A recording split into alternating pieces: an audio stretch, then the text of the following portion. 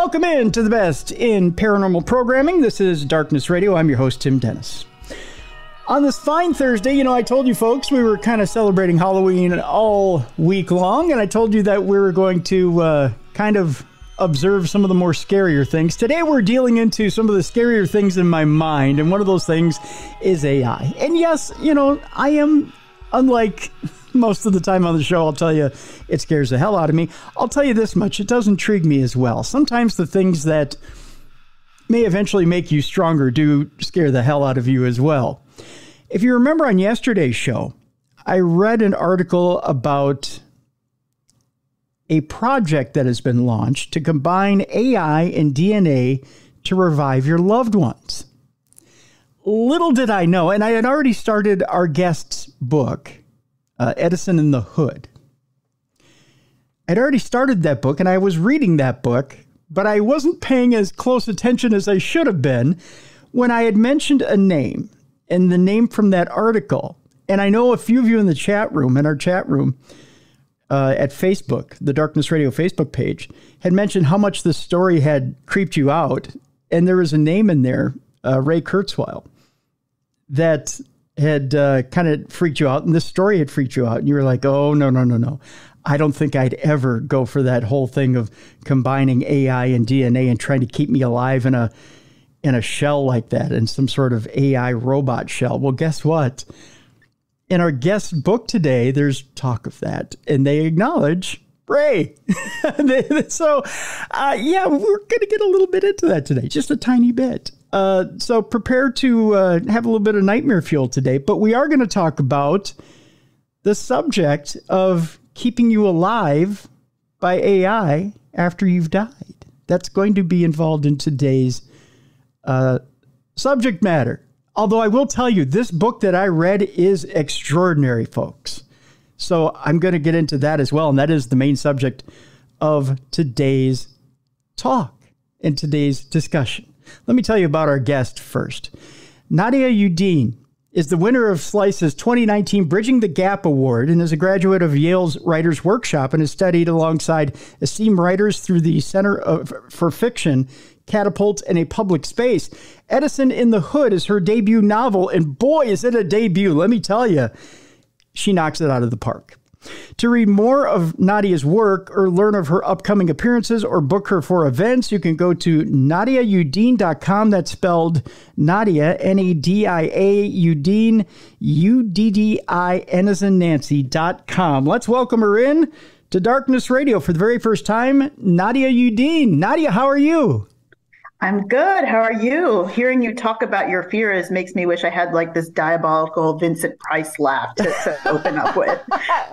well, that's good. That's good. That's good. That's good. Um, I'm doing just fine. I absolutely enjoyed Edison in the Hood, and I what I enjoyed even more is the fact that you presented both sides.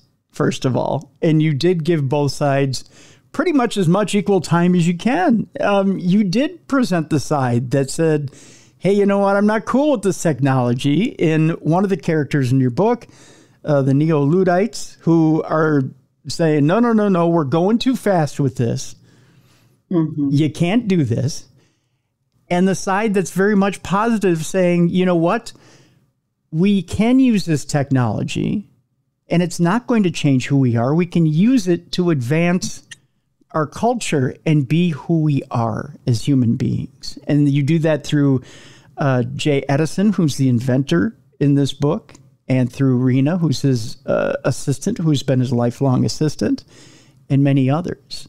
And stuck in the middle are our main characters, Aisha and Sam, who we'll talk about. We'll talk about all these characters here in a moment. But I, I, I want to talk to you a little bit about this article, and I had forwarded you this article um, because this isn't just now science fiction, and this is a, this is a book of fiction, Nadia, that that you wrote but you also wrote it based on some of the work of Ray Kurzweil. Is that how you pronounce his last name? Am I getting that right? Yeah, Kurzweil. Yeah, Kurzweil. Okay. Uh, tell me, have you met Ray? Are you are you familiar with Ray? How did you come upon Ray's work, and how, did this fuel the book? It it did. I, it's almost like I cheated because I so like took upon his predictions and attitudes and different viewpoints. But I started writing this book about 10 years ago. Um, a friend of mine was just mentioning there's this guy, inventor named Ray Kurzweil. He's predicted pretty much every innovation that's happened in the, the modern world. And I'm like, who is this Nostradamus guy? Like, does he know the lotto numbers? What's going on? Mm-hmm. Started researching him and just found that he was one of those pioneers in the world of artificial intelligence, basically technology, let's say that.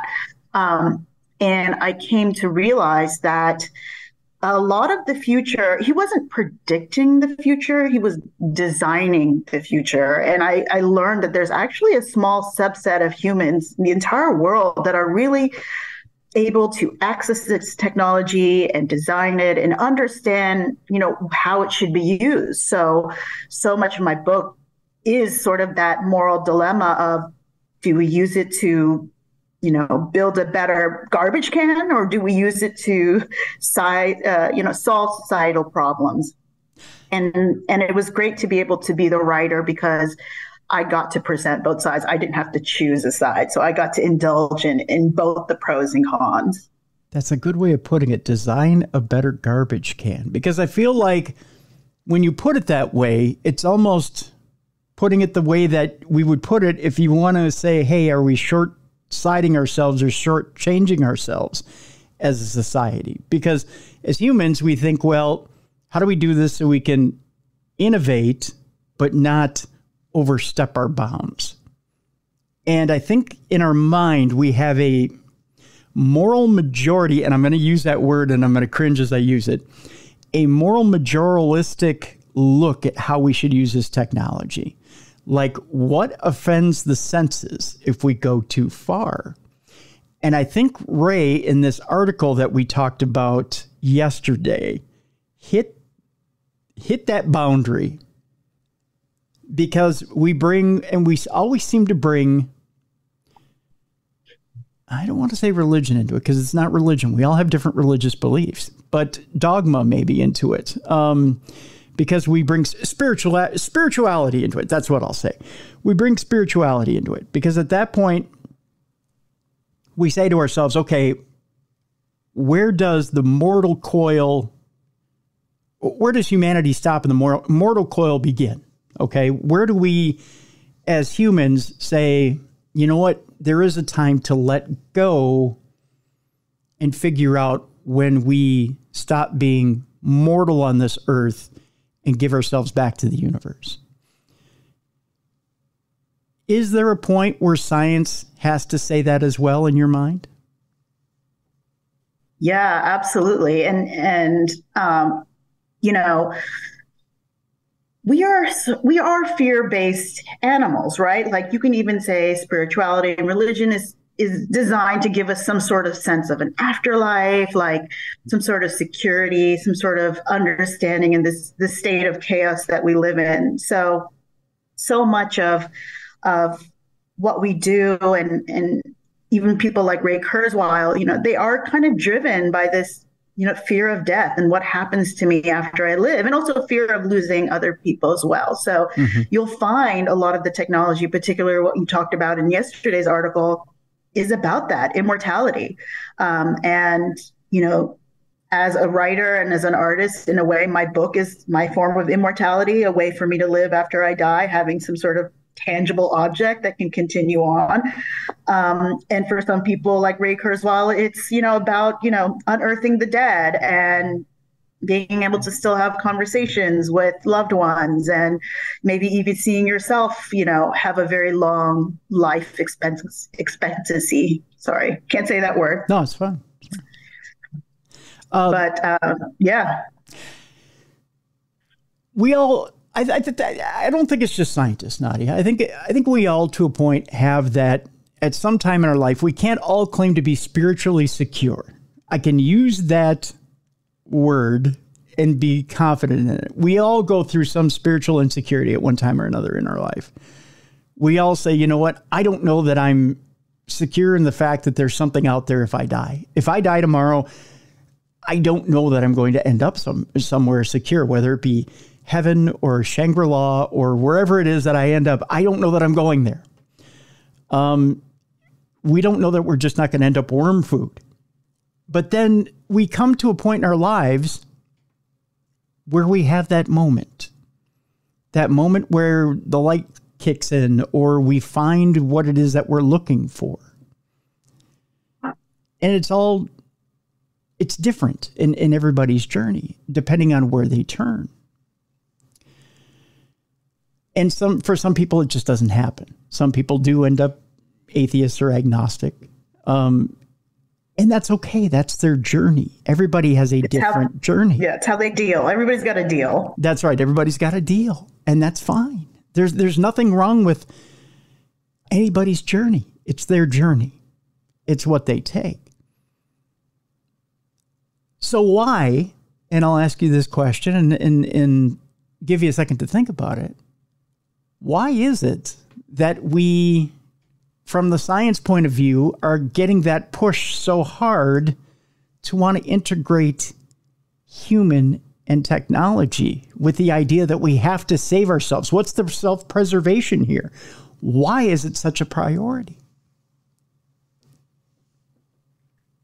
I think it's, I'm going to follow a little bit of what Ray Kurzweil says, which is it's part of evolution as well. Um, you know, these machines that we create, technology is really a product of our mind. And if you think our mind is nature, then you know what we produce is nature. So I know you and I maybe talked about like inevitable inevitability earlier, but it's kind of like you can't resist what's going to happen naturally, even though, you know, that's why we call it artificial intelligence because um, it may not seem real, but but it is real. And integrating technology into our bodies and creating better minds, um, I think is is something that can't be stopped. And so whatever spirituality you need or religion, um, it's about sort of coming to terms with that actuality. The fear of prey predator, um, something coming along that's going to be bigger than us that will swallow us up, and eventually evolution will take over because we've been told ever since we were itty bitty in school that evolution is a thing, that something bigger and better will come along and take you over. And ultimately, we're the the top of the food chain right now on this planet. We've taken it over. But yet we're being told that something bigger and better may come along. Is this what is driving our minds when we think, well, we can't have artificial intelligence because we may make it better than us? Is this what is driving the anti AI movement? Yeah, I think so. I think so. The fear of the unknown, the fear that, you know, we may not exist, the fear that, you know, we were once fish and now we will become once robot and what we know as as our moment to infinity will go away. It's it's it's definitely, you know, it's spiritual, it's what you believe in. If, you know, either you believe in the evolution, you don't have to, but um but yeah, I think it's part of everybody's thought process as to like, well, what's next? In the book, you you cite that the human being is a is a funny creature in that it it um and you and you cite it eloquently in what separates a human being from a machine and what makes a human human. I can't quite put it as eloquently as you do, but there's do you remember the chapter and the verse in which you you figure out what a human is in consciousness? It's where Aisha I wish I had it in front of me. I don't have it in front of me, but Aisha is talking to one of the chat bots at Jay Edison's place. And the the chatbot says that they wish to dream.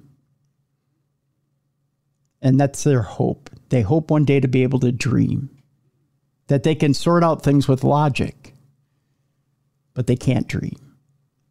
And Aisha at that point says, Well, the fact that you have the hope to dream means that you're on the way to passing the Turing test, which T U R I N G, Turing test, meaning that they're on their way to becoming human or having human consciousness, which means they were already on that, on their way to, to being that, but not quite there.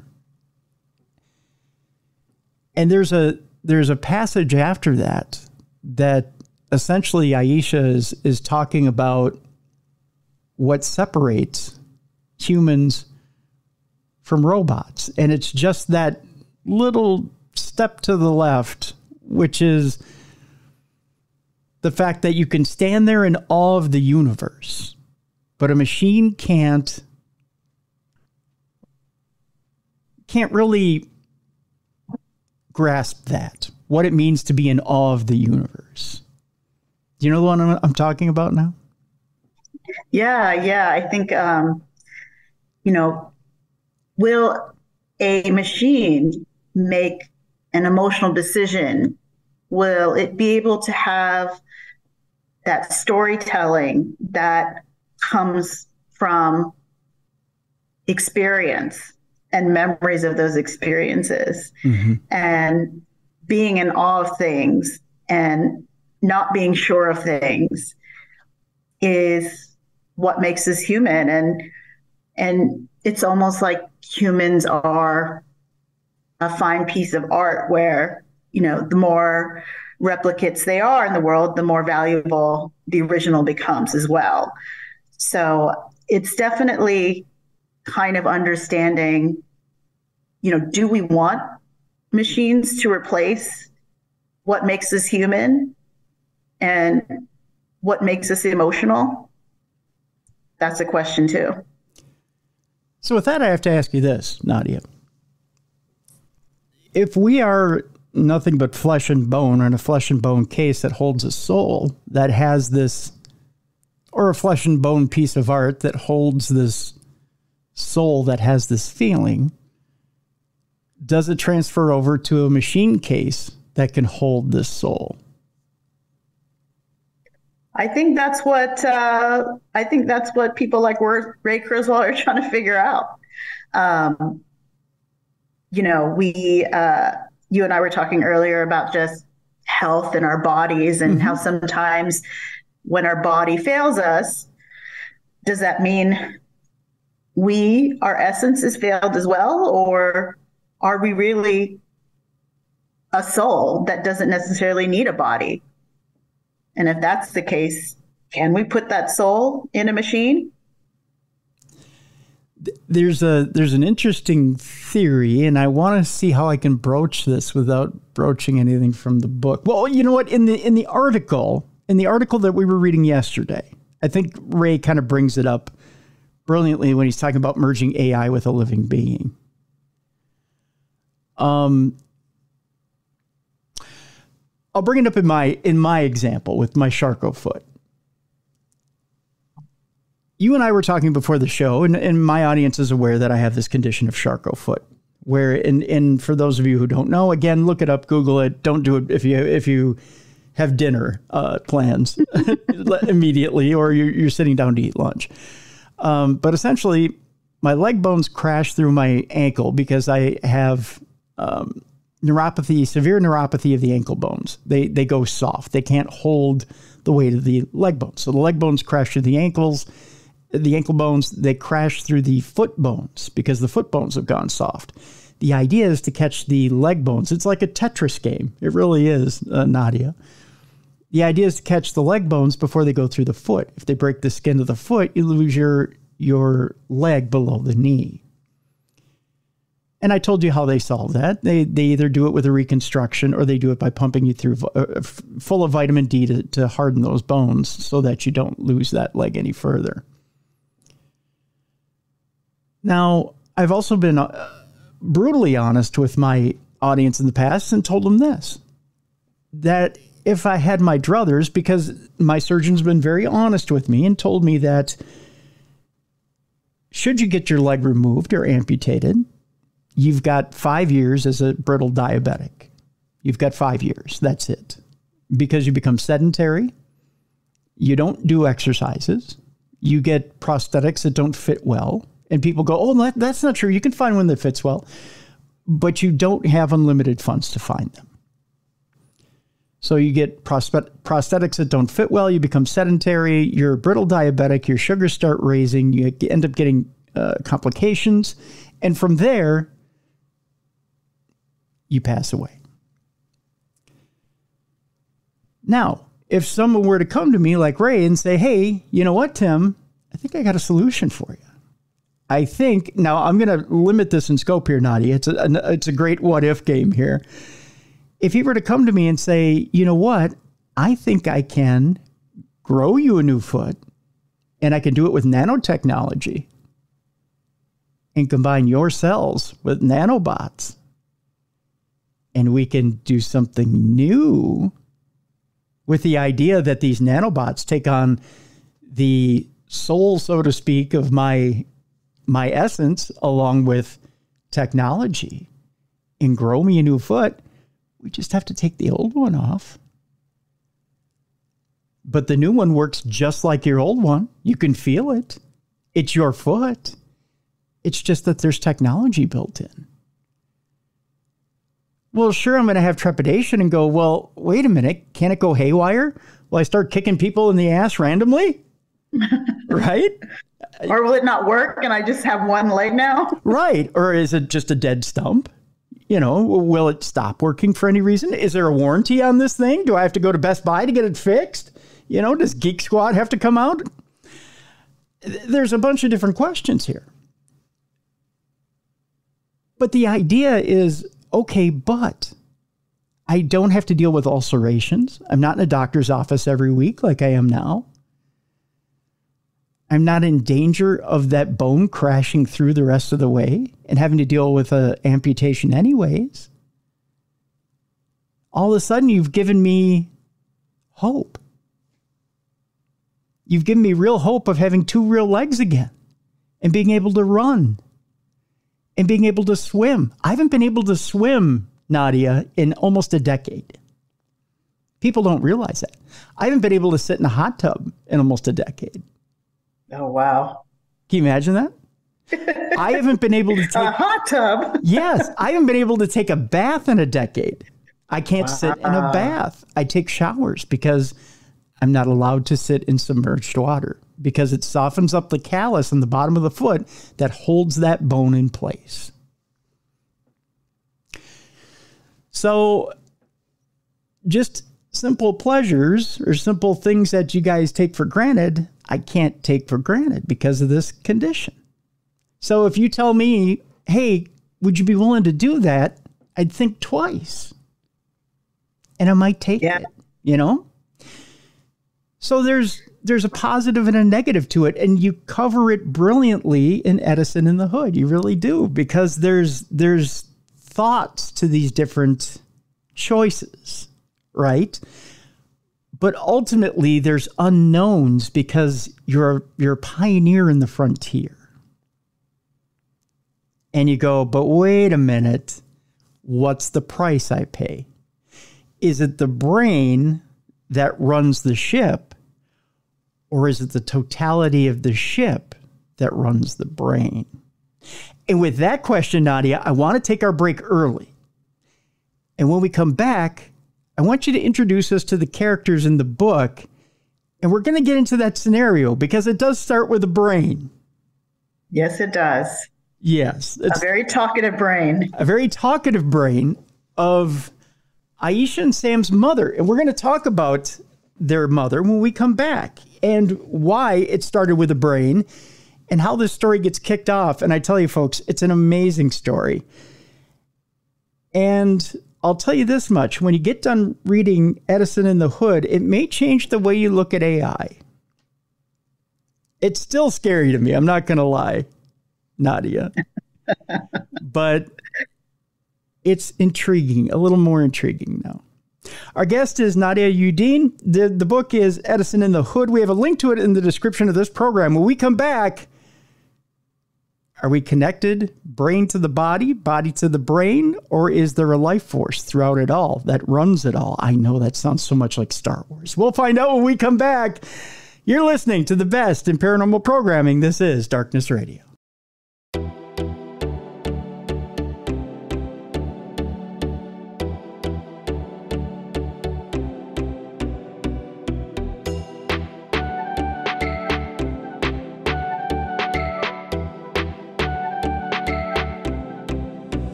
Welcome back to the best in paranormal programming. This is Darkness Radio. I'm your host, Tim Dennis.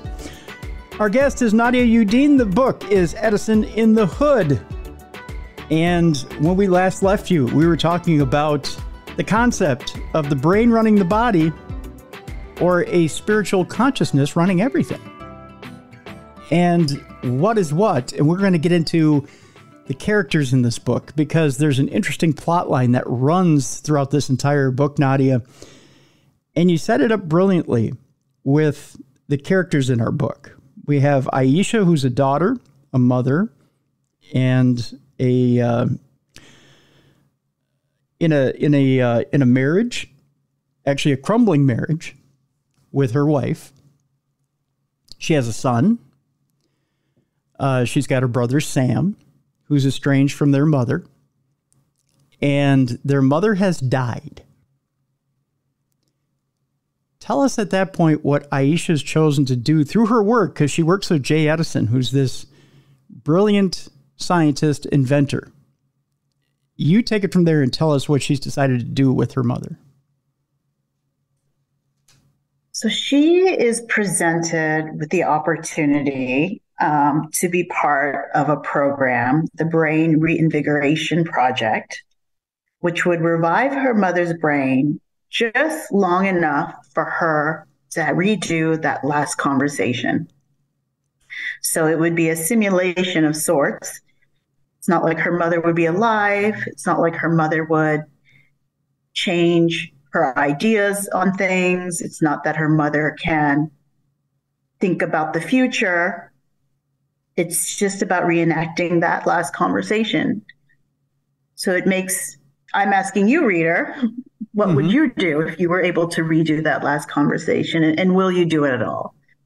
And the story follows Aisha and her brother in navigating this technology.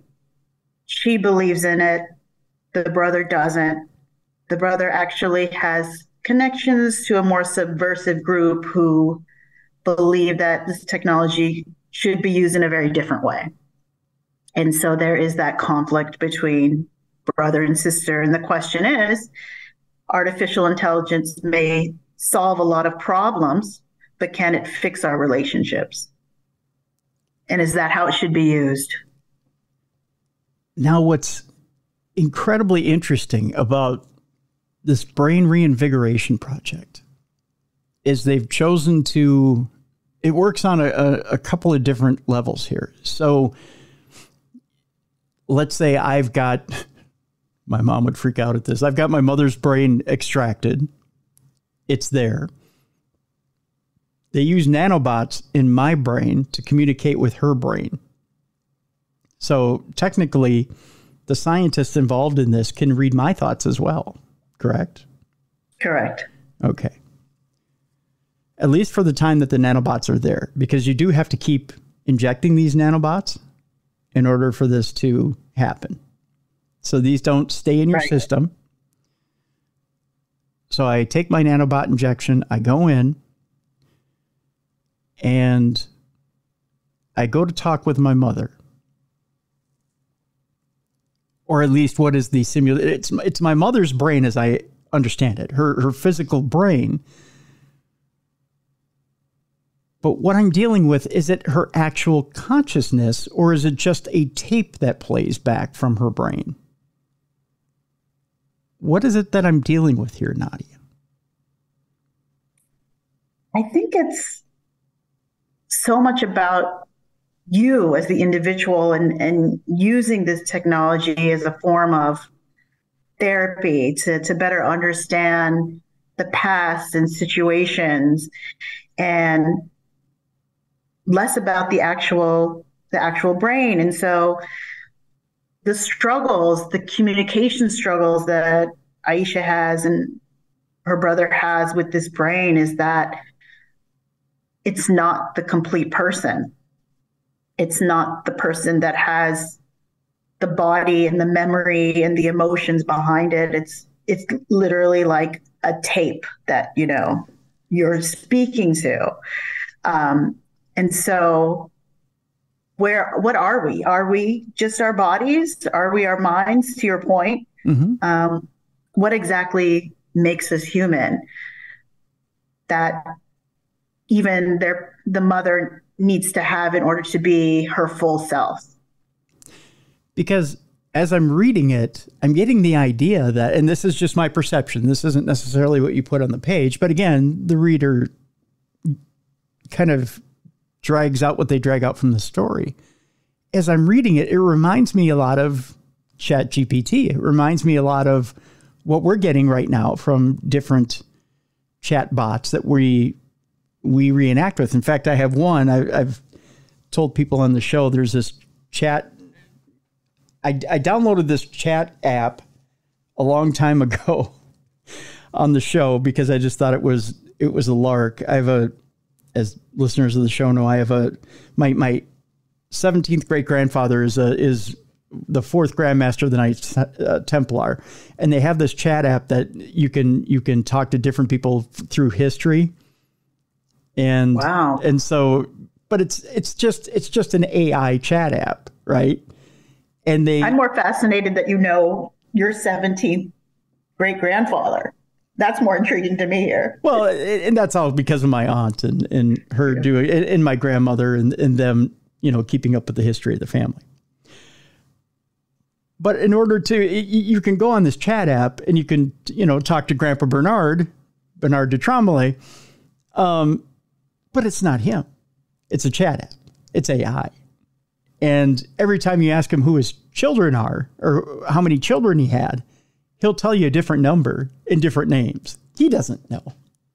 You know, although this is different in that it is Mora who's the the uh, mother in this story. Dead mom. Dead mom, yes, and she knows who her children are. So that's part of the tapes. It has a knowledge base that never changes. And she remembers exactly where she was that last day she died And if you push her, the brain will degenerate. It will, you know, it'll start to break down. So they have to be careful. But it just reminded me a lot of Chat GPT.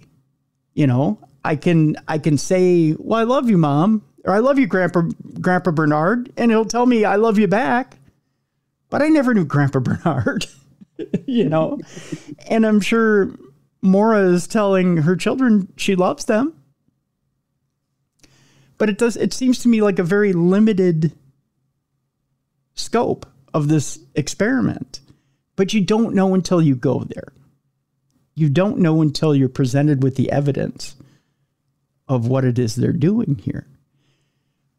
But when you look at it at first blush, Nadia, boy, does it seem like a gruesome experiment to farm somebody's brain. Now, keep in mind, you have to do it with the permission of the family, right? Yep.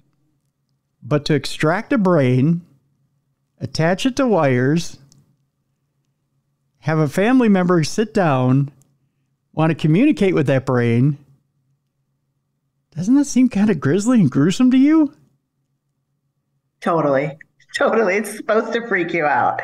Um, and that's why I think so much about the technology isn't even necessarily about the technology like how it happens or or how it's created. It's more about you how you interact with the technology. What do you want to get out of it? And i think that's kind of what i want people to think about as well. Are we just a product a reaction to the technology or are we influencing it? Are we designing what we want the future to look like? But when we start treating our bodies like a renewable or reusable resource, are we looking past our humanity? Yeah, I think I think we may even be looking past what a human being is. So one of the restrictions of the brain is that it's not living anymore. So it doesn't have new experiences that build upon its perspective, mm-hmm. which is why it feels like you're talking to maybe a tape or a regurgitation of, of data and information. But really, we're evolving human beings. We always look forward. If you don't have something forward to look to, it creates hopelessness. Mm-hmm. Mm-hmm. And so maybe there are limitations when we die. Because how can there be life after death if there aren't new experiences to learn from and to create your actions moving forward, your decisions moving forward? I'm wondering in your own experience, is it harder to get through to someone who objects to the technology? Or is it harder to get through to someone who's excited about the technology that it isn't quite possible to get there? Which one is the more flexible of the two? Oh my God, I actually think the one who's resistant. And the reason why is I think what's so intriguing about technology this day. I mean, artificial intelligence is now just part of the vernacular. Like every any actually any technology is just called artificial intelligence. You yeah, know? yeah, it um, yeah. It's like I guess it's the computer now. Um, and what it has created is the idea that anything's possible mm-hmm. and the imagination behind it. So maybe a technologist may have ideas, but may go into those ideas with like limitations, how it could happen. Whereas somebody who's resistant actually has that open mind and sees the potential and really realizes, you know, anything's possible. If we put our minds to it, anything's possible. That's scary. So, in your mind, just your mind alone, is there a limit to where we should or shouldn't go? Oh, that's a good one. That's a good one. I don't even know if there's like a should or shouldn't. Like, I don't know if there's sort of this moral obligation. Like, you know, it could be very black and white and be like, okay, yeah, so we don't want killing machines or anything like that. Like, mm-hmm. that's not good or whatever. But I think it's more about are there parts of us as human beings that we want to even be replaced by machines? And one of the examples I give is art. Sure, there's what they call generative AI, right? They can, yeah. machines can look at past art, look for patterns, can write books, create paintings. But do we even want that part of us replaced? It's a good point. It's a good point. Before we got to air today, um, President Biden had signed a bill having to do with government regulation of AI and certain safeguards that certain things had to be subscribed to uh, when it came to AI. In other words, um, if you were going to put AI into uh, certain military weaponry, if you're going to use AI for certain uh, industrial mechanisms. If you're going to use it for different things, that it had to have certain government safeguards. I'm curious as to what your outlook is on that. Do you feel that, and let's face it, it doesn't matter what side of the aisle you're on, the government's always five steps behind everything. It seems like they're, you know, by the time you put a government safeguard on something, they're they haven't ca- caught up to any industry. The, the, the safeguard they're putting on something is five steps behind where that actual industry is. do you feel like, first of all, there should be any government intervention in any development of AI? And second of, of all, do you feel like it's going to help or hinder the growth of AI? Wow. Wow, that's a good one. That's a good one. You know, we've seen governments, to your point, try to regulate or provide guardrails to what's what we can have technology do, particularly when it comes to cloning, genetic testing. And somehow the technology inches forward anyways. I almost feel like we're in that phase in life where it's like myth and reason are colliding. Like there's still people who, you know, don't believe in birth control. You know, they see that as like technology that's damaging. Mm-hmm. So um, I think the turn is always there. You know, it's just like one of those things where it's like, how how are they going to be able to to monitor it and and you know to your point things like social media now are just getting the attention of the government and saying these companies have a responsibility to make sure information is real and valid but technology now is moving so so fast i can't even think about how they can even regulate it i actually have a larger concern about the types of inequalities that technology creates in the world. So, you, for example, you know, we wear glasses. Yeah. I have contacts. Everybody has access to technology. There's sort of an evil loving level. But let's just say, for example, you get to put on a super leg. Mm-hmm. And not everyone has accessibility to that. Mm-hmm. And what advantages do those create with you? Does that mean that those people who don't have those advantages are going to be evolved out of existence? Does that mean gaps in, in wealth and inequality just widen? And we know that that's not a good thing for society. Those are the things that worry me. No, my hope would be that if something like that were to, to be developed, first of all, that it would be developed for all economic levels.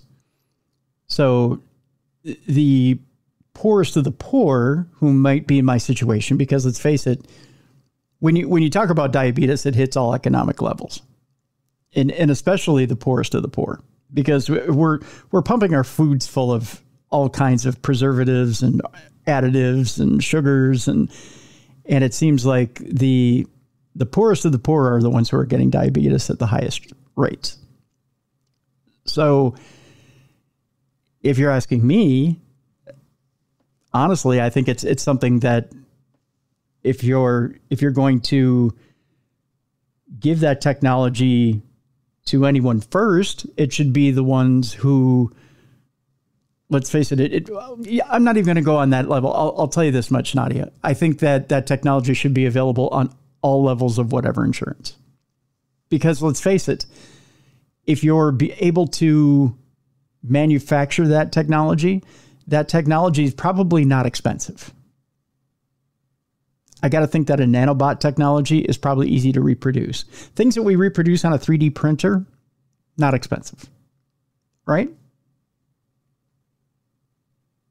So to do something with nanobots, I can't think is there are are as expensive as a twelve to fifteen thousand dollar orthotic or 20 to, and the good orthotics, the good the the good uh, orthotics or or uh, especially for uh, replaceable legs, we're talking twenty to fifty thousand dollars. So, an insurance company, from an economic standpoint, if they're going to sit down and say you're going to replace that leg permanently, it pays off better for an insurance company, even Medicare, Medicare or Medicaid, for them to sit down and say, okay, you're going to give that person a permanent leg. And if it's going to cost us $200,000 to do that, yeah, we'll pay it because it's a, it's a lifetime replacement. So economically, it makes more sense for the government to want to pay for anybody of economic standing to get a permanent replacement than it does to keep paying for a um, to keep paying for a uh, orthotic every uh, let's say three to five to seven years.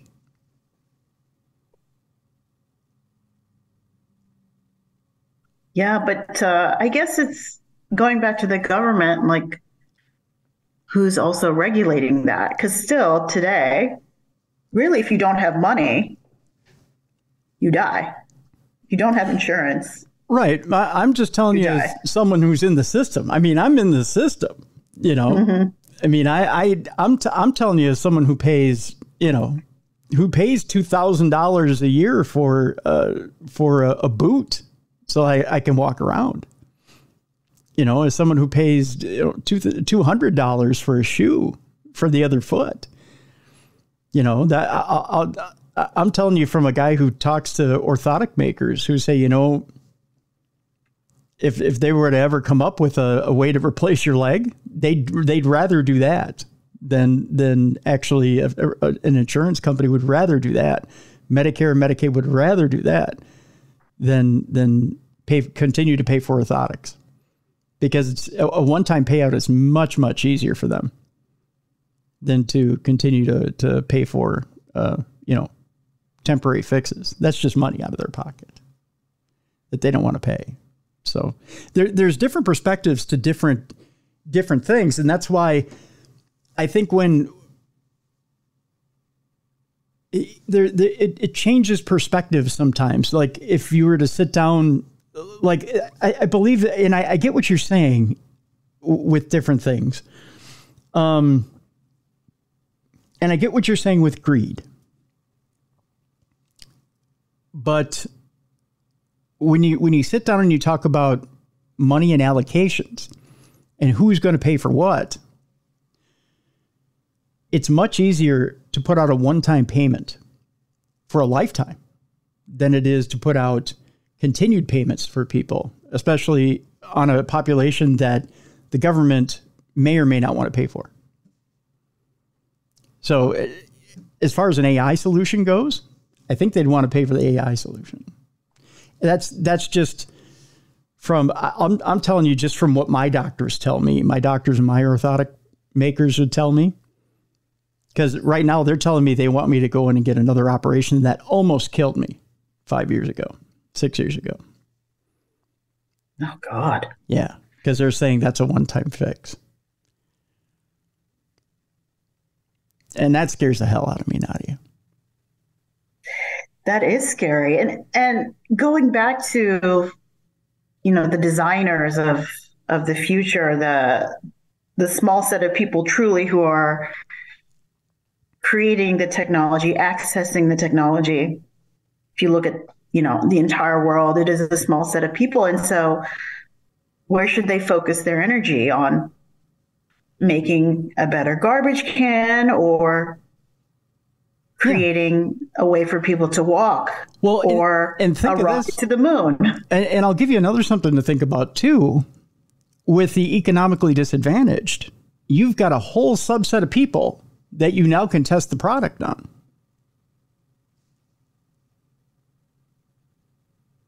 That sounds questionable.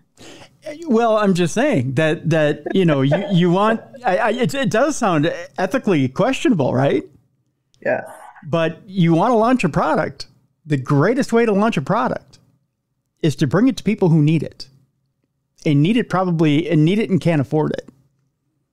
And that's always been the way that our medical community has worked.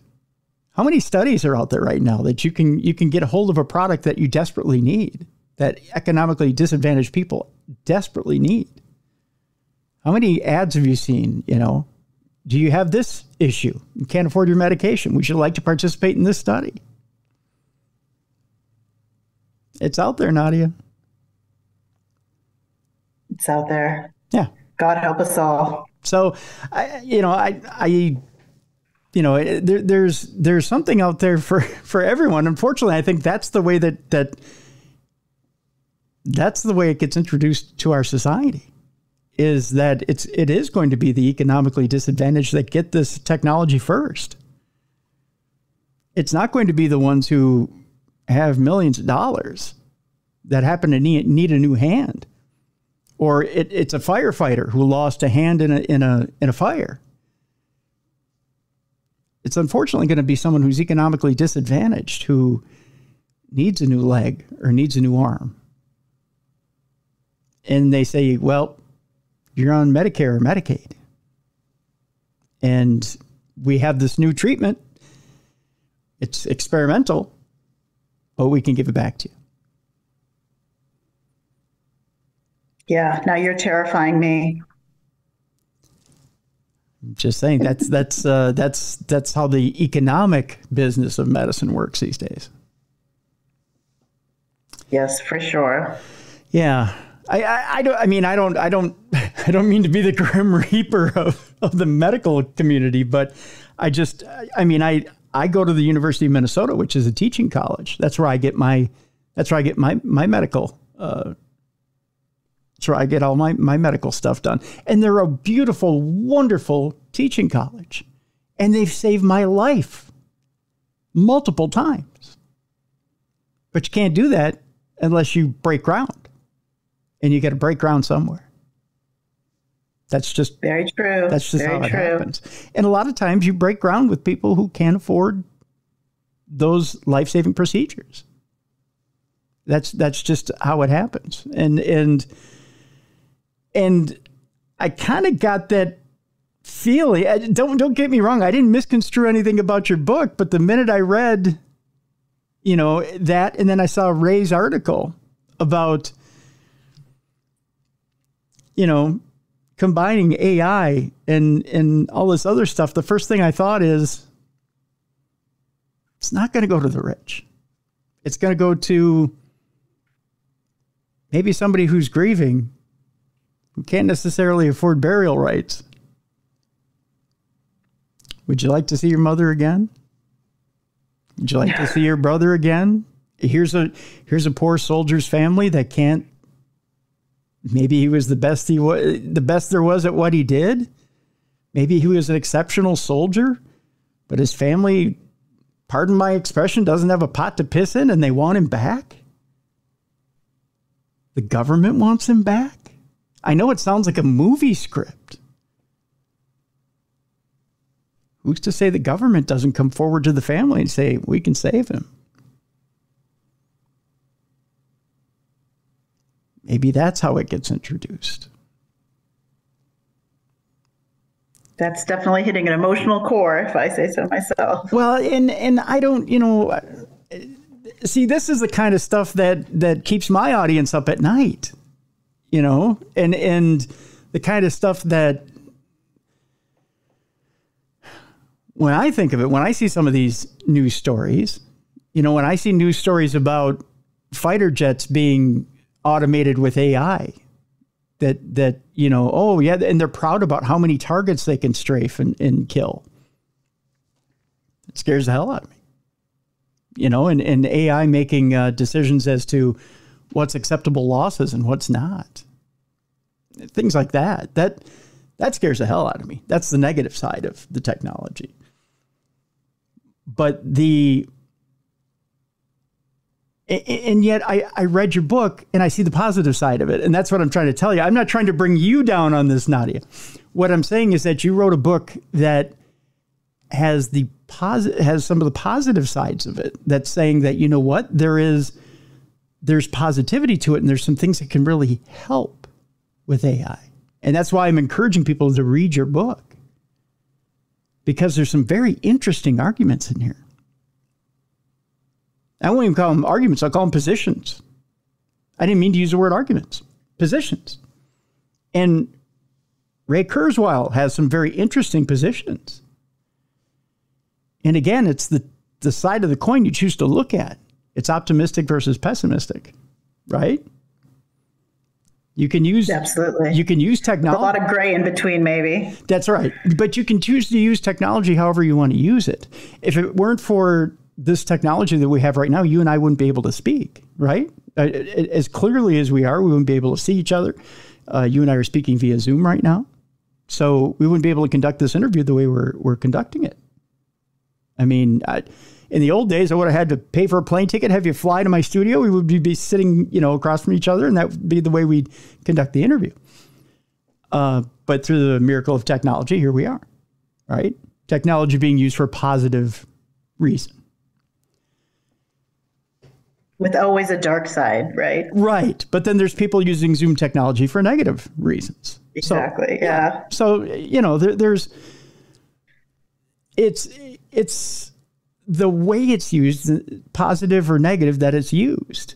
But the idea is how do you get it to the finish line?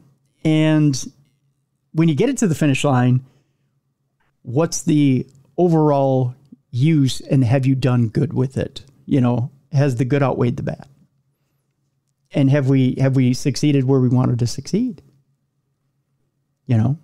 And that's that's that's what I think is what's so scary with this technology. And I know I, I am trying not to pontificate and take over the the conversation here. So please, I want you to jump in. um, I I didn't want I didn't want to. But you're doing so well. well, no, no, no. But but this isn't about me. I brought you on the show for you to speak. Um, I think that's what this is what overwhelms people and gets people scared about the technology. It's just that you know it, it's. Uh, it's the fact that everybody knows that there's this dark side to humanity. And in these days and times, that dark side of humanity has really shown itself. And then you put this powerful thing that is AI in their in their grasp. And then you say, here you go, don't blow up the world with it. you know. and and when you tell a kid don't blow up the world with it, what's the first thing they want to do? Blow it up. Yeah. Let's see how high this sucker goes. you know? But by all means, okay, so let's let's let's erase that out of our minds. Let's get back to the story of, of Edison in the Hood. Tell us a little bit about Aisha. What is Aisha's circumstances here? Aisha is somebody who had to grow up quickly, mm-hmm. had to take a lot of responsibility early, and took that into her adulthood, middle age, shaped a lot of who she is. And after she lost her mother, she realized that the only person she really has left as a relative is her brother. And they have a strained relationship, estranged, a large part because of her brother Sam's relationship with the mother who died. Mm-hmm. And she just wants to fix it and she can't do it on her own. And that need to fix things drives her to technology. If I can't do it, maybe maybe technology can do it as well. So we follow her journey and really understanding how she's able to deal, mm-hmm. come to terms with her past, have an understanding of where she came from and who she wants to be, while also dealing with a lot of resistance. So in a way, she resembles also technology. And Sam is is an interesting character as well. He's one who at one time had that love of technology, but things have happened along the way.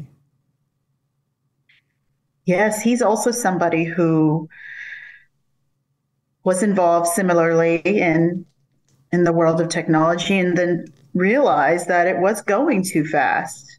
And he started sympathizing with anti technologist groups like the Neo Luddites. And has to realize hey, I can't stop this. So, how can I make better use of it? And he doesn't believe that cashing out old relationships is the best way to use this technology. He wants it to help people. He wants it to go into to troubled areas, create resolutions, stop wars, help people.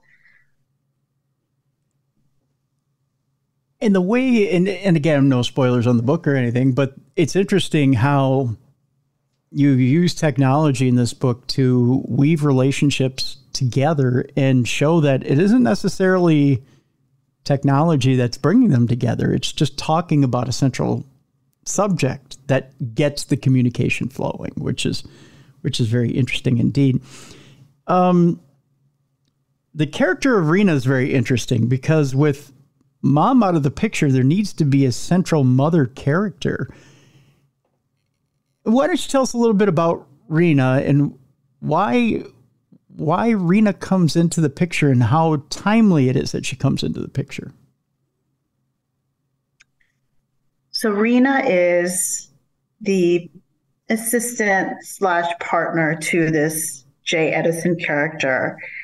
And I think she brings sort of that emotional representation to the society of, of technologists, so to speak. So, motherly role in the sense that she wants people to feel taken care of. And she wants to be able to always emphasize that what connects us is maybe a shared consciousness that there's a reason why we're here and there's a reason why we're developing technology in a certain way. So she kind of is the moral compass, I mm-hmm. think, mm-hmm. in all of this. Um, not necessarily taking sides, but supporting a more compassionate world. Which is good to have. I mean, especially when you're dealing in, uh, well, for lack of a better term, a, a chop shop such as what they're they're dealing in. I mean, you are dealing with a lot of hard based science, and she's really bringing the humanity to the science and reminding them of what they're doing and why they're doing it. Um, and you do need that, as you put it, that moral compass to to keep reminding you why you're doing what you're doing. You need it in any in any of the sciences you you partake in because you do get that gallows humor from time to time. Uh, you know, whether you're a doctor or a scientist or uh, yes. whatever it is you're doing, uh, you get kind of lost in the sauce sometimes, and you need to pull your head out sometimes and kind of go, "Oh, by the way, this is why we're doing it." Um, it, it happens quite easily. Um, and lastly, I know that you pull a little bit of Jay Edison from Ray, but there's there's an enlightenment to Jay that kind of belies his station. Where where does that come from? Because he really does seem like he's socially aware and a lot more socially aware than most scientists I know of. Most scientists I know of have been kind of had their nose in the books and aren't really self-aware and they're not really aware of the climate around them. Where does that come from? I think so. Ray Kurzweil coined the term spiritual machines. Mm-hmm. And he feels obligated, or maybe is obligated, to make sure that the machines sort of reflect our values as a society equality, liberty, and he's highly, highly optimistic because he can only see the good in the technology. And he does have a moral, he does believe he has a moral obligation to to temper it. So he may not think the government needs to be involved, but he must be also very trusting of the, the science community um, if he thinks that it can self regulate. And so my character, Jay Edison, who's billed off Ray Kurzweil, does have just well-intentioned optimism, I think, and for somebody who's so smart is kind of naive in that way as well. Mm-hmm. Um, so that was sort of the dynamic I wanted to create with this character of being optimistic to a fault. I'm wondering in real life, do you do you think that Ray sees through through some of the more recent developments, uh, the government using AI in some of their some of their te- you know in some of their technology, uh, in some of their defense technology, uh, to be more specific. Um, not just in, in the, in the U.S. technology, but worldwide. I mean, it's being used worldwide in defense technology now. Do you think he's seeing that the tendency to want to corrupt this technology is pretty widespread. It's being used privately as well. Um, AI technology? Do you think he do you think he would be less trusting of his community now that he sees that just the general public is more than wanting to corrupt it? That do you think he still thinks his his circle is is absolutely pure, or not necessarily absolutely pure, but pure enough? I think that he's probably lived long enough to know that any technology in sort of nefarious hands are going to lead to probably undesirable consequences. But I think he does still believe in the good mm-hmm. and that the good can fight the bad. Um, and that we can't get obsessed to the point where we're stymieing the advancement of technology out of sheer fear. And so I think it's it's kind of like um, you know, they're the hackers, the ones that are doing good and and trying to stop people from compromising systems and then they're the ones that just spend all day trying to compromise systems so it's kind of like it is kind of classic sort of you know there's good and there's evil, and that's what's always balanced us through time. And we've definitely seen imbalance uh, in various ways. Maybe even you know what's going on right now in the world, but we as humans have to be hopeful. Otherwise, we really don't have much to live for. True. That's that's that's very true as well. I don't mean to keep don't don't feel like I'm shelling you with these negative questions. I'm I'm playing devil's advocate with you here, uh, Nadia. Um, but I'm I'm curious as well. You know, recently on 60 Minutes, you had the man they call the Godfather of AI uh, talking to uh, one of their reporters. I think it was uh, I'm to remember which one it was, but um, might have been Scott Pelley. I'm not quite sure, but uh, he uh, he basically comes out and, and says uh, the technology can't be trusted.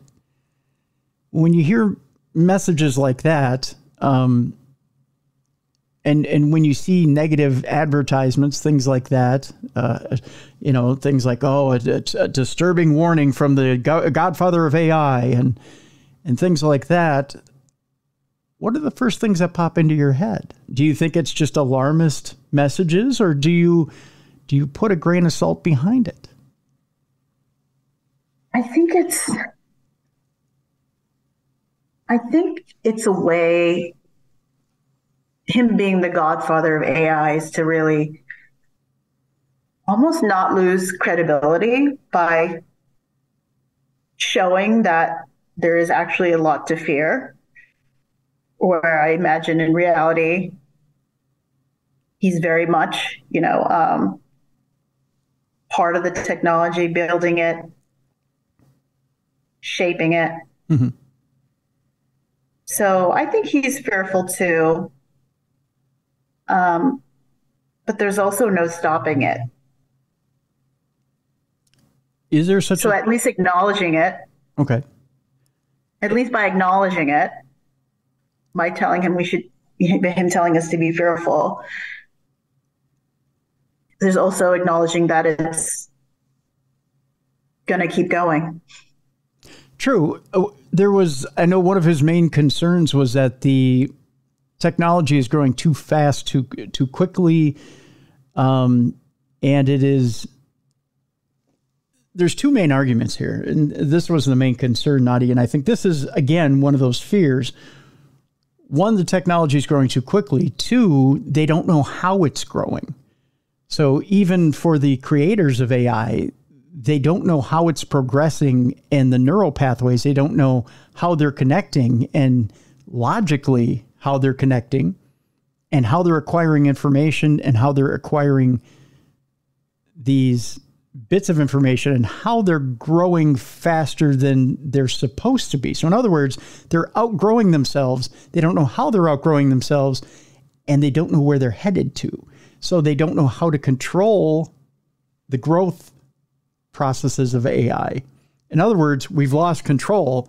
Now it's going in this this this uh, area that we don't know how to control it.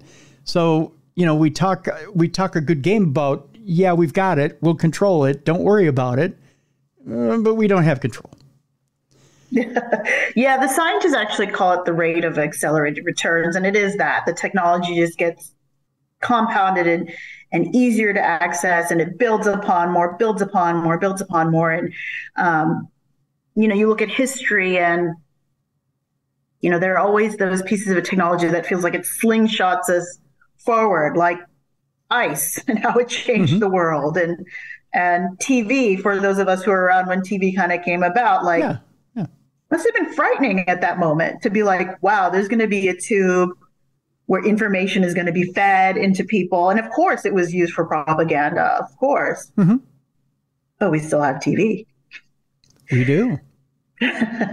so the fear always comes, I think, with it. Can we control it? Sometimes I feel like we just have to surrender. It's almost like I hate to say this, even like climate change. I'm like, just come take me, nature. Like it's just so far gone now. Maybe we all need to be wiped out.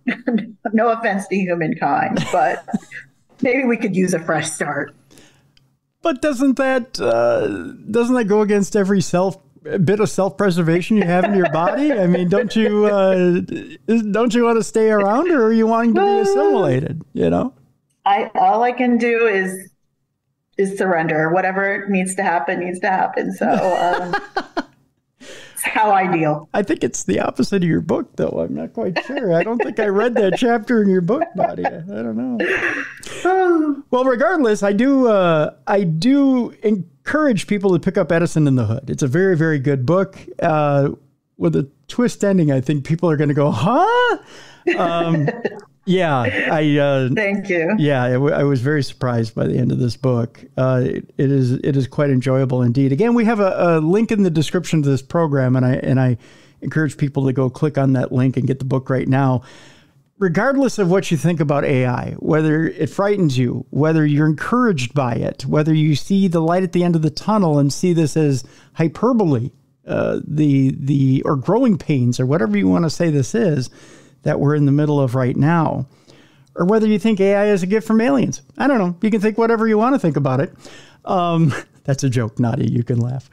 Um, I think uh, what Nadia's book will do is it'll calm a little bit of that that uh, anxiety you have about AI, and you'll begin to see a little bit about uh, some of the promises of it, and maybe some of the side from the scientific side of it, what scientists do think about AI and where where they do want to go with it, what they see when they're dealing with it, when with it, what they're working with it, and what their hopes and dreams are with AI. Because I think it's different than what we see on on the level that we're at right here, and we don't see what the eventual sociological uh, ramifications of it could be. There's also some sociological ramifications of what AI could do in this book that uh, you address as well. And again, I don't want to go into spoilers because uh, there's an interesting sociological ramification that you bring up with AI, which uh, could be very interesting. It's an interesting, uh, interesting solution with AI that uh, is intriguing. I, I, thought it was very intriguing. So, but again, no spoilers, Nadia. No spoilers. Yes, no yes. Spoilers. I so appreciate it. Thank you so much for allowing it to confuse you, conflict you, make you happy. You know, that's still that's the most an artist can ask. So yeah, well, the the characters are are very intriguing. They're they're they're very easy to want to kind of glom onto and get to know and and uh, and be part of their world and and they're very complex. You know, they're very down to earth, and, and you want to get to know more about them. It's uh, it's just unfortunate we didn't get to spend more time with them. That's all. So that's that's. then I feel like I've done my job. There you go. You have done your job. Again, Edison in the Hood is available right now, and uh, we have a link in the description of our program. Nadia Uddin, thank you so much for being with us today on Darkness Radio. Thank you. Great time. And it was. Thank you so much. Want to thank my guest for this week, Nadia Uddin. Again, Edison in the Hood is available right now and available at the link in the description of this program. Go ahead, pick it up.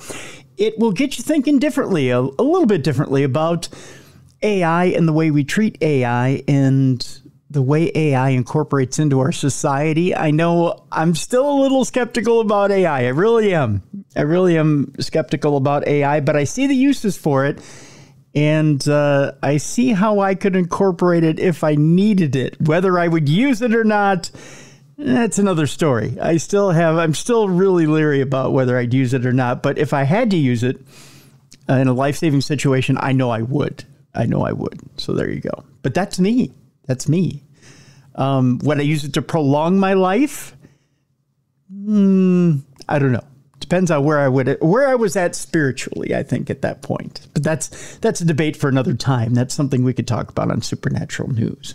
Speaking of supernatural news, uh, we we taped it earlier on a Monday because of the Halloween uh, holiday, and yes, it is a holiday, folks. I know there's a little bit of debate in the chat room about that, but it is a holiday. Uh, it's celebrated worldwide um, in different cultures.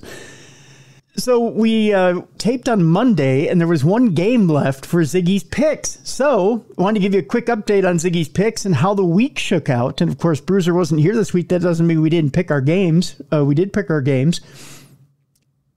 To give you an idea how the pups did, Ziggy was nine and five this week. We missed one game. We we didn't pick one game. That was the San Diego Chicago game. It's not that we had anything against them. It was just one of the games we forgot to pick. So we only picked 14 games instead of 15 this week. Uh, but with that being said, Ziggy went 9 and 5. Talia fell off this week and only went 5 and 9. Bruiser was dead even at 7 and 7 and I went 9 and 5. So with that, here are your percentages overall for the for the entire season. Ziggy's picks per, pick percentage actually went up Ziggy overall this year is at 65 and 55 and has a 541 pick percentage. Talia slipped below 600, believe it or not, this week. Talia overall is at a, an impressive, still 69 and 51 for picks this year for games. Yes, folks, we have picked now 120 games this year. Talia is at a 575 pick percentage, which is impressive. Bruiser and Talia are tied in pick percentages. They're both 69 and 51.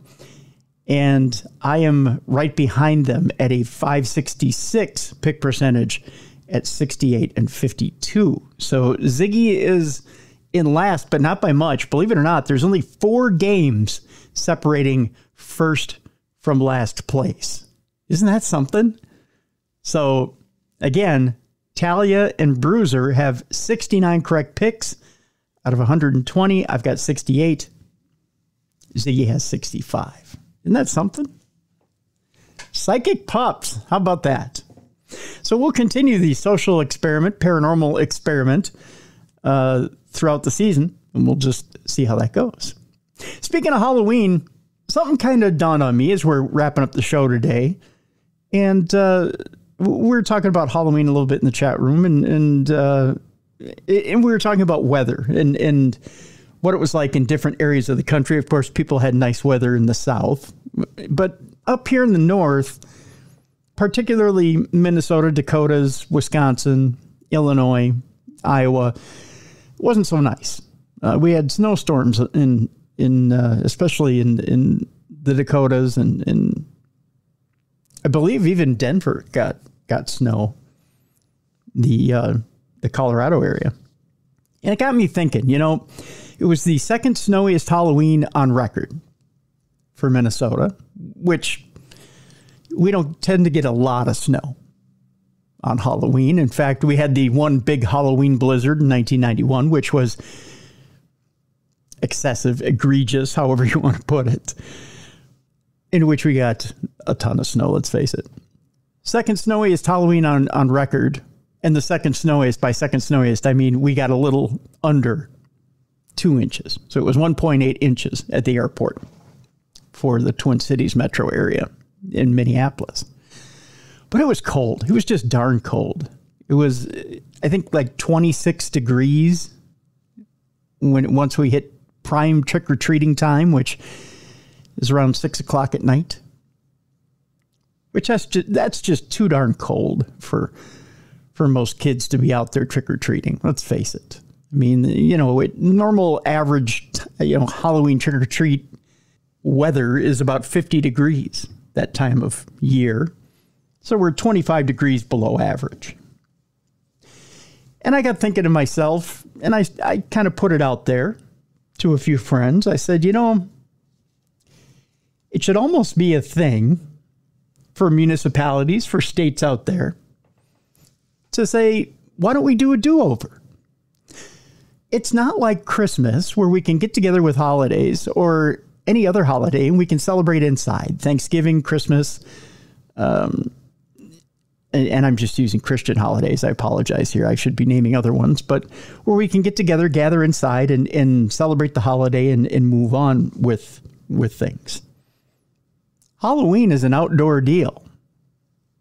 And I know it's rain or shine, and you, you take your chances and, and play place your bets, and that's it. But why can't we? Why can't we do a do over? Why can't we pick if that weekend after Halloween is going to be warmer, say 45, 50 degrees? Why can't we do a Halloween do over that next weekend? Because you know you didn't have as many kids as you were going to at your door. I myself had maybe 25 or 30 kids come to the door. And that was about it. Now that that's pretty high, but it was probably because the kids knew they had to take their chances and they're hardy Minnesotans. They threw on their coats, they came out and they got their candy because they knew th- that was it. That was their chance. But why, you know, I mean, I'm sure that was a pretty crappy experience for them. Not saying that we should coddle kids on Halloween. I mean, if, you know, when we were kids, we would have had to go out and do it anyways. But, but I'm just saying, you know, if it's that cold, why subject it to them? You know, subject them to that. Why not just say, hey, you know what? Let's give you a a chance when it's somewhat decent outside. Do it during the day on a Saturday. Put your porch light on as a universal sign that you're going to be out there during the day, that you're giving out candy, because who puts their porch light on in the middle of the day? And just let them know that, hey, we're available to give out candy for four hours. Like, let's say between if the sun goes down after you set your clock back on Saturday. Well, no, that's Saturday night, sorry. But let's just say Saturday during the day between 1 and 4, you put your porch light on when it's daytime. That just tells the kids, hey, we're available to give out candy. You do it during the day between 1 and 4 so that they know we're, we're participating in the do over. And that way the kids get a second chance. Second chance Halloween. Much like you have second chance prom, second chance Halloween. I don't know. Figured, why not? What, it's going to set you back another 15, 30 bucks? What's a big deal? It's another second chance for you to get more Halloween candy. You're probably going to eat it anyways, right? What's it going to do? A little bit of damage to your blood sugar in your waistline? What's a big deal? You don't care, right? I know I don't. so that'll do it. That'll do it for this week. Hope you enjoyed this week's shows. I know I did it was a good week for Halloween overall. Yes, the chippers are in torpor. They they went down day before the the snowfall. I'm gonna miss them. My little Spud, my little Wicket, and my little Logan. They're all down for the winter, so that's okay. I've got video, I got pictures, and soon enough we'll have spring. Yeah, sure, it's probably eight eight months away the way Minnesota works, but but we'll have spring soon enough.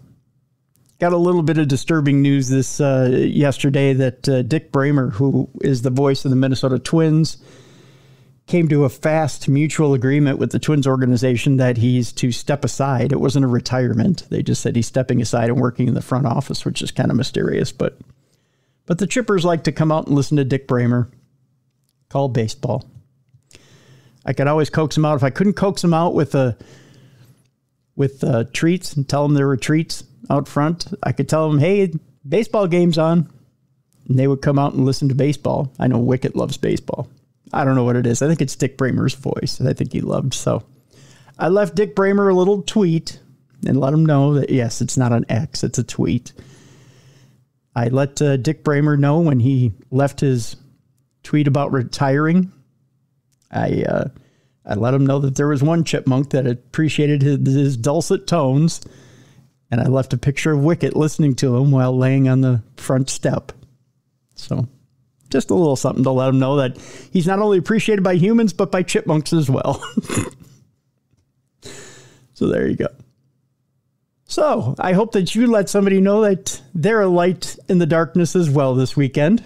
I hope you had a great Halloween. I hope you had plenty of kids at your door that showed off their costumes and made your day. I hope you made somebody's day this Halloween week as well. I hope you gave somebody some extra candy or let them know that their costume was extra cool or made made your day. You gave somebody a compliment that made them smile a little extra hard, made them feel a little bit better about themselves. Because in the end, uh, even though it's a it's a uh, holiday that some people think is a little too commercial, it uh, it does make people feel a little special. So it's something to look forward to in the fall. It's something we all look forward to in the fall, I think. So I hope you had a good Halloween. Now we look forward to stuffing our face at Thanksgiving. But in the meantime, we can look forward to helping each other, maybe outside, getting our yards in order outside, or getting projects done in the house. And maybe we can help each other with that. We can continue to help each other throughout the winter. There's people outside who are cold and hungry who maybe need that help at a homeless shelter. We don't need the Christmas season or the holiday season to help remind us of that. We can start that work right now, getting coats and hats and mittens to people who actually need that help. So maybe we can do that this weekend. Just a little note from your buddies here at Darkness Radio. I also want to thank Mally Fox for joining us this week while Bruiser was having his surgery. Again, you can't do this without the help of friends. And I want to thank Mally Fox for sitting in this week. She's always been one of the best of friends, and I want to thank her so much. Again, check out Strange Evidence on the Science Channel or check it out uh, by going to Discovery Plus if you have Discovery Plus, or check it out on Max. You can stream it on demand on Max. So, thank you very much, Mally, for being our light in the darkness this week and helping us out here.